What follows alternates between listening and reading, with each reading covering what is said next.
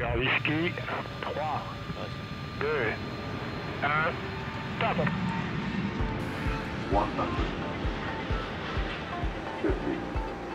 40, 30, Pour moi, je suis prêt à démarrer les moteurs. Tu vas démarrer en Allons-y pour les moteurs. Alors pour le 1. C'est ok pour le drive. Welcome to Airbus. Hello and welcome to the We Make It Fly Airbus podcast. In this series, we are focusing on all that matters in space, defense, and security. My name is Ada Dromjek, and in this episode, I am speaking to Dr. Frank Schubert, specialist in defense and aerospace security.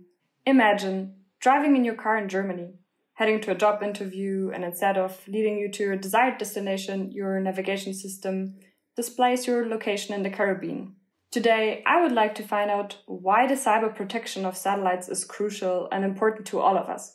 So, the question here is why are satellites targets of cyber attacks in the first place?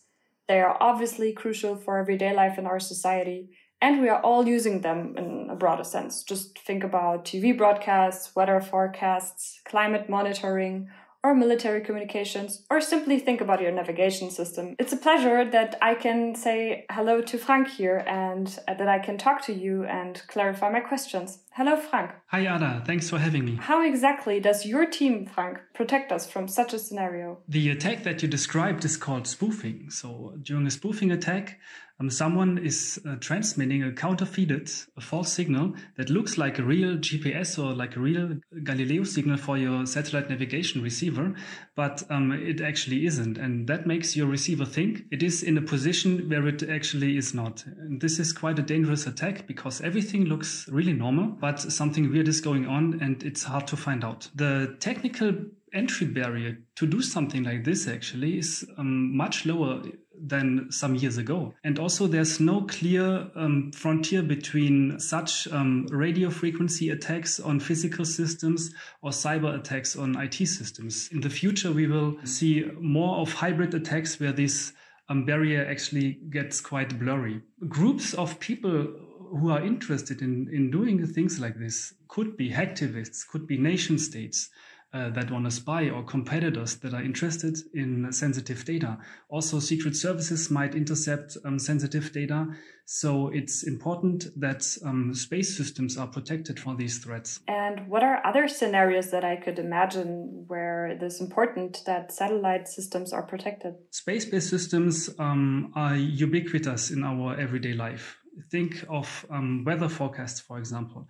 Earth observation satellites um, take pictures of clouds um, in the atmosphere, and from that we can create exact predictions of rain for the agricultural industry to have them determine when to bring out fertilizer, for example. Also, satellite communication is crucial not just for TV broadcasts, for example, but also remote medical assistance could be done over satellite communication links and are actually also performed nowadays. Ships could be monitored on the high seas. Distress calls are forwarded using satellites from remote areas on Earth.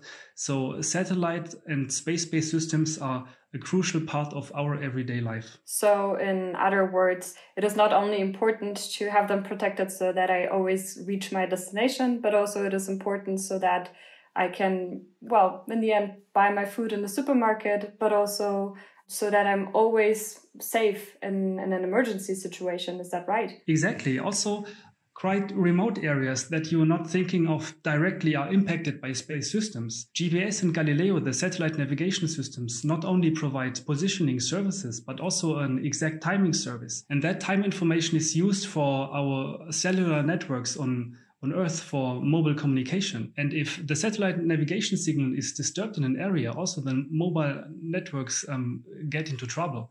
So there are many interdependencies that are not clear right away. So I guess it is important that all of these systems are constantly protected 24 7 basically. And how can I imagine such a constant protection? Is there always someone in front of a screen or is this automated? Both is actually true. We have security operation centers where automated monitoring is performed for our customers. Actually, there, the whole IT landscape of our customers is being monitored 24 7. Also, we have operators being present in the SOC 24 7. And whenever an attack is being monitored or detected, then an alarm is raised to the operators and they decide what to do. They would analyze the situation and then provide information if the system is actually under attack. So I guess overall, it seems as if there are many interested parties in those systems and also that there are many possibilities for attackers to hack into such a running system that needs to be protected. And given that, uh, what are other possible threats that those systems could face? A space based system not only consists of the user segment where the satellite navigation receivers actually belong to, like your GPS or Galileo navigation device in your car. There's also the space segment where the satellites belong to, the spacecrafts, and the ground segment where there are control stations, antennas um, that maintain the links to the satellites and steer them and perform uh, maneuvers. So our approach is to look at the system as a whole. We um, perform procedure called security by design. So right from the design and definition of a project, of a satellite mission, um, we bring in our cybersecurity expertise. And this continues over the implementation. Uh, we do supply chain monitoring. We train the personnel. We provide the secure, we provide knowledge. We provide expertise for the secure operations. That means cybersecurity must be a part of all subsystems to provide protection to be able to detect hybrid attacks. So, if I understand you correctly, you and your team, you're responsible for a big and very comprehensive system that is very impressive. And it seems like an attacker could do immense damages that would affect all of us. So, what happens after such an attack is detected? Then a satellite operator would enter a procedure called incident response. Um, and the most important point there is probably to not panic. And in order to be able to do so, um, it's important to have a plan for a security incident in place. We also provide our customers with creating such plans and also security concepts. So that means there needs to be procedures for the monitoring of systems, for the detection of attacks, um, later on for collection of the of indicators of compromise. And once an incident is detected, we bring in our experts for IT forensics and, if required, even malware analysts that are able to reverse engineer malware that is damaging um, the network and the computers. Wow, that sounds very interesting. And considering all areas that Airbus is involved in, does Airbus offer the same security on its commercial satellites as it does on its military satellites? Yes, both domains are well protected. Yet the requirements differ very much. Let me tell you two extreme examples. A commercial satellite communication provider that is um, providing a service for remote um, medical assistance in real time, for example. So in that case, everyone is interested that the link to the patient is always maintained we need to have a high availability here. I would never sacrifice the um, availability.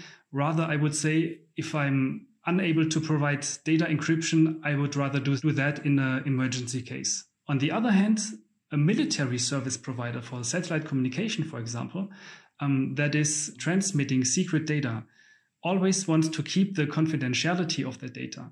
And in that case, one could argue if I'm unable to maintain the confidentiality, I would rather sacrifice the availability. So even though both systems are well protected, requirements differ and different decisions could be taken. Sure, that makes sense. Thank you for that example. I think I can really understand that very well. The scope of your work and your tasks are so impressive. How does it feel to carry such big responsibilities in order to protect and keep up running such a huge and comprehensive system? I find it very good to have a great team um, behind my everyday work. So at cybersecurity, we work in a in a team on our security by design approach and support our customers, as mentioned um, before, from architecture to secure operations. And then, since space systems engineering is multidisciplinary anyways, where you have links between electrical engineering, data handling, thermal engineering, um, mechanical engineering. So here cyber comes in as a new domain and that requires new ways of working.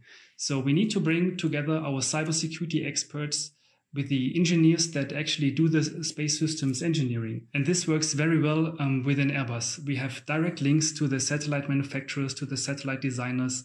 We are in discussion with the operators. We train the personnel.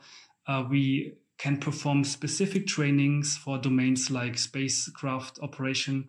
Um, and in Airbus, this actually feels as if we would work in one big team. Wow, this is a great example of how Airbus acts as one. And it sounds truly interesting and exciting. I really like all of your insights. Thank you so much for sharing them. You're welcome. You're very welcome. I'm really happy that I had the chance to um, tell you about the importance of space-based systems, about satellites, and um, how important these services are, even though sometimes we don't see them, but that they actually define our everyday life. That concludes this edition of We Make It Fly. If you've enjoyed this episode, do not forget to subscribe and rate us wherever you get your podcasts.